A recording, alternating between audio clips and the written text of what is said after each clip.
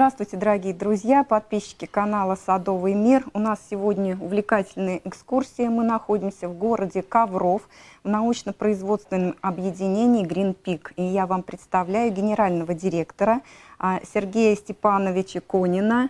А, и мы находимся в племенном хозяйстве а, дождевых червей старатель. Дождевых червей старатель. Мы сюда специально приехали, потому что у наших подписчиков было очень много вопросов а, как производится биогумус, потому что есть сомневающиеся, что это биогумус, что-то такое, вот название одно, а, а там он не действенный, это что-то похожее такое на торф, и многие говорят, что не видели от него никакого результата. Вот могу сказать по собственному мнению. Вы знаете прекрасно, что все бутылочки, все коробочки, все баночки, которые я вам представляю, я тестирую на своих растениях. Вот а, абсолютно точно. Биогумус бывает разный. Вот здесь самый лучший, наверное, у нас в стране производится биогумус, и вы сейчас посмотрите, и вам Сергей Степанович расскажет вот эту вот уникальную технологию, как из а, органического сырья производится уже та вкусняшка для растений, от которых они прут буквально вот э, невероятно. И у Сергея Степановича есть доказательные фотографии, когда там помидоры вырастают по полтора килограмма или кусты все с ног до головы увешаны вот этими э, яркими плодами. Так, Сергей Степанович, вам слово. Что это вот перед нами здесь? Что за гряды такие? Э, давайте немножко поговорим об истории. Uh-huh, uh-huh. Само слово «биогумус» э, – это российское понятие, в России введено профессором Игониным. Анатолием Михайловичем. Игонин Анатолий Михайлович – это был человек, который придумал все это в России, да, создал э, технологию, вывел дождевого червя «Старатель», uh-huh э, запатентовал. И когда мы начали работать, он, э, патент этот перешел к нам. Вот, он внес в производство э, дождевых червей старатель, вот первую биомассу. И сразу оговорю, что дождевые черви не вырождаются, то есть они не теряют своего качества, но требуют постоянной репродукции. То есть для того, чтобы производить гарантированно качественный продукт, необходимо, чтобы вот э, сами вот эти маленькие, скажем, роботы, угу. биороботы, они были сами качественные, угу, самые угу. качественные. Биороботы, это вы так назвали вот этих живчиков, которые э, в этих грядах, мы сейчас это вот вынимали так э, на руках, да, показывали, э, ну тут нам вот сначала да. показывали, мы вам тоже их показываем. Они вот такие все время в движении, вы не представляете, насколько быстро они перерабатывают вот этот навоз, который находится в таком, ну, известном комковатом состоянии, да, и буквально через сколько он уже в однородную ну, массу превращается? За, свои, за, за сутки э, черви перерабатывают более своего веса. Угу, угу. Вот э, представим себе, давайте так, что есть некий станочек, угу.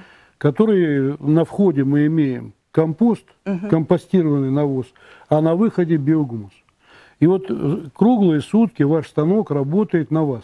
Вы создали маленькое производство дома или создали фермерское хозяйство, экоферму дождевых червей. Он работает на вас. Этот станочек, он бы изнашивался. А наш станочек за год дает полторы тысячи новых станков, угу. и которые не надо программировать, уже запрограммированы. Здорово. Они производят биогумус высочайшего качества. Угу. Как говорил профессор Игонин, люди меня подводили часто – но черви никогда. Когда вы говорите о том, что бывает плохой биогумус, черви сделали хороший биогумус, но кто-то его решил на нем заработать больше угу. денег и добавил туда торф, песок или просто почву просеял и назвал это биогумус. То есть только человеческий фактор может испортить то, что придумано природой. Так, вот вы еще так выразились, что вот золото подделать можно, да, и вот добавки туда какие-то включить, да. оно уже будет неполноценное. Да. По сути дела, мы стоим на производстве черного золота. Давайте поясним, а, что такое навоз и что такое биогумус.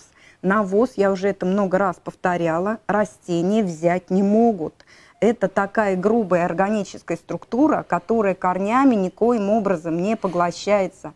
Они именно вот потребляют биогумус. правильно? Да. То есть вот этот навоз, если вы внесли его в теплицу, в грядку в свою, он опять же вашими же червями и бактериями обрабатывается, да. происходит вот это превращение в биогумус. А здесь это в ускоренном все. Уже готовый продукт. Да, и он дальше фасуется, а он производится как в сухом виде, да. вот в этих ваших да. пакетиках, и в жидком виде. В жидком виде, да. И в жидком виде называется гумистар. Гумистар. Правильно? Ну, гумистар это гуми, это угу. понятно, да, да, гумус. А стар это старатель, гуминовый Старатель. старатель. Вот угу. гумистар. Угу. Старатели именно потому, что это, ну я не знаю, как порода червя очень производительного. Да. да. Э, получилось следующим образом. В Америке вот э, красный калифорнийский гибрид, который очень знаменитый, и он распространился по всему миру, угу. это тоже торговая марка. Торговая Не марка. более того. Вид дождевого червя старатель и вид, вид дождевого червя э, вот этого калифорнийского один и тот же, потому угу. что из 7 тысяч видов культивируется только один угу. с целью получения вот э, биогумуса. Но наш-то все-таки более зимостойкий. А да? почему? Почему? Потому что профессор Игонин, он как гениальный человек, он э, всю жизнь занимался как раз, э, он же не просто доктор медицинских наук, угу. он занимался как раз в Ящерном институте работал угу. и занимался микробиологией. Он знал все, очень много о генетике. Он взял высокогорного южного червя, того же вида, что и, и нашего, северного, угу. но равнинного червя. Угу. их скрестили, получили вот этого зверя-старателя, который угу. перерабатывает все виды органических отходов. Угу. На сегодняшний день мы ведь не э, старались выдавливать каких-то других червей с рынка, но если вы откроете интернет, вы увидите, что все работают со старателем. Более того, э, приезжал вчера вот из Китая наш представитель угу. там, э, который желает с нами работать, и я там был на четырех фабриках в Китае. Все перешли на старатели. На старатели. И вот эти вот черви-старатели, которые у нас, в принципе, могут зимовать. Но лучше-то, если вы это все производство а, дома держите, да, ведь это да. дома тоже можно выращивать. Обязательно, да. Лучше, чтобы они при а, какой-то положительной температуре находились, тогда это будет вообще супер. Быстрое, а. непрерывное производство круглогодичное. Дорогие друзья, вот о запахах. Мы сейчас вот здесь стоим, посмотрите, здесь сколько, и навоза в том числе. Вы знаете, какой запах? Как в лесу после дождя. Вот а это почему? Пахнет вот так вот, а, потому что это пахнет именно гумусом. Да? Э, значит, здесь аэробный процесс. Вот мы как говорили только что о плохом запахе, когда анаэробный процесс. Угу. И раньше, да и сейчас некоторые садоводы говорят, у меня есть компостная яма. Яма. Недопустимо это абсолютно, потому что в компостной яме идет анаэробный процесс с выделением сероводорода, аммиака и так далее. Э, аммиак – это парниковый газ, угу, между прочим. Угу. Что мы предлагаем? Мы предлагаем, чтобы все перерабатывали в аэробном процессе. То есть это всего-навсего надо делать гряду. Ну, большинство уже перешли на компостную гряду или ну, кучу. куча, да, куча, кучу да. да. И обязательно использовать червя. Для чего? Э, конечно, вот почвенная, почвенные бактерии, вся эта микробиота, она переработает пищевые отходы и отходы с, с садового участка, переработает в компост. Но потом его надо обязательно капсулировать угу. в гранулы. Угу, и самые лучшие гранулы производит э, дождевой, дождевой черри. Почему? Потому что он покрывает его натуральным полимером. Угу. И, Это такая тоненькая да. оболочка, как на колбасе.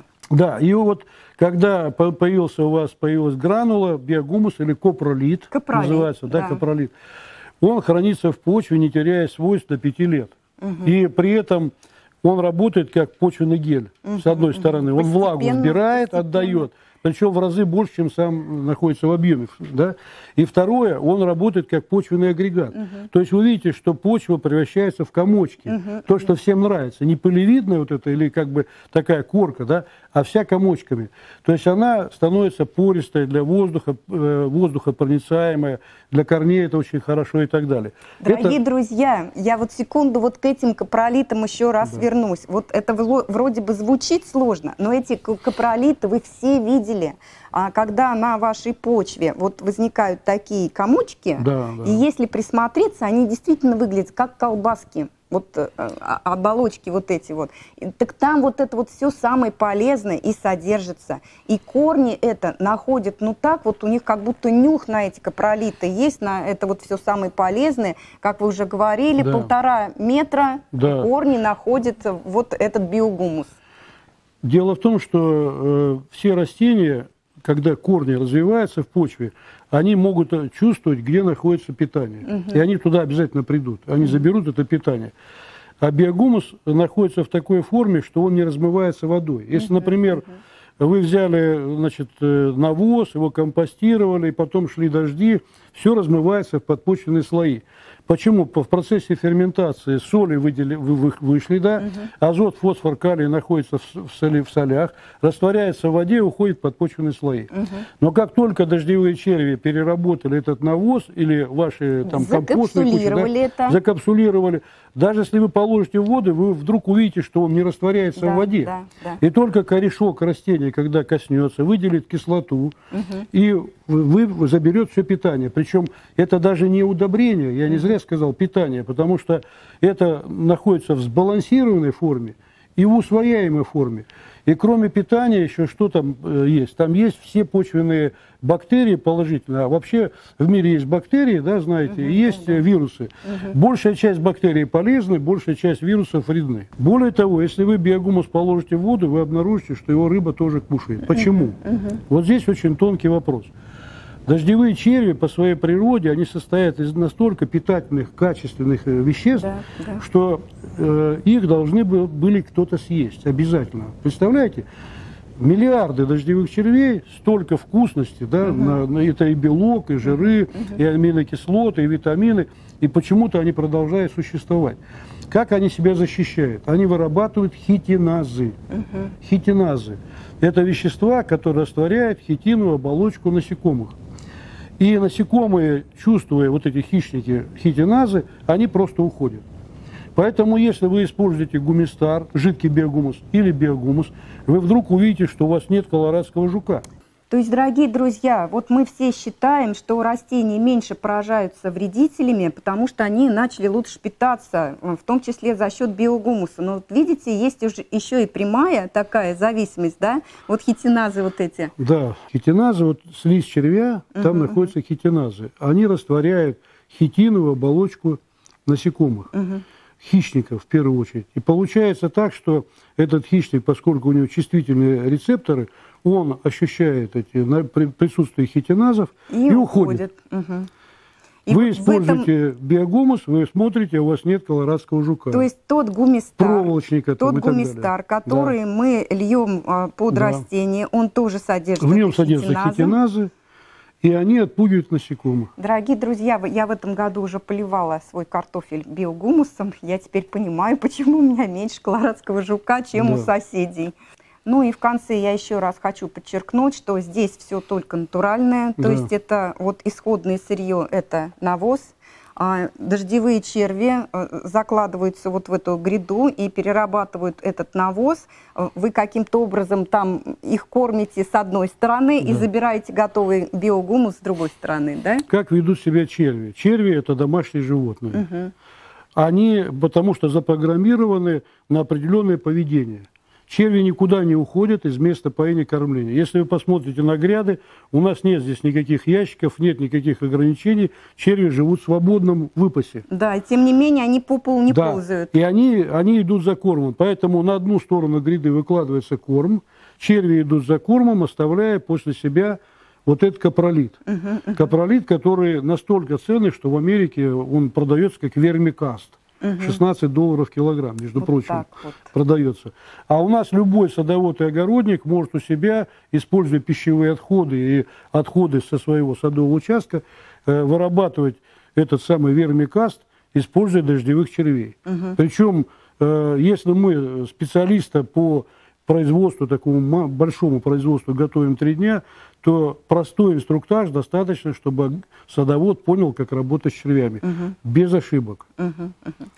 Вот, дорогие друзья, это мы переходим уже к другой теме. Смотрите следующий ролик, как вы у себя а, на дачном участке и даже в квартире а, сможете сделать вот такой биогумус. Более того, он будет более качественный, потому что вот тот биогумус, который получается здесь, он определенной стадии обработки – проходит, да, а у вас вот это вот все живое, как мы э, прям только-только с пылу с жару и несем да. его под свои растения. Это все равно, что э, домашняя кухня всегда лучше ресторана. Угу. Поэтому готовьте э, биогумус прямо у себя на участке.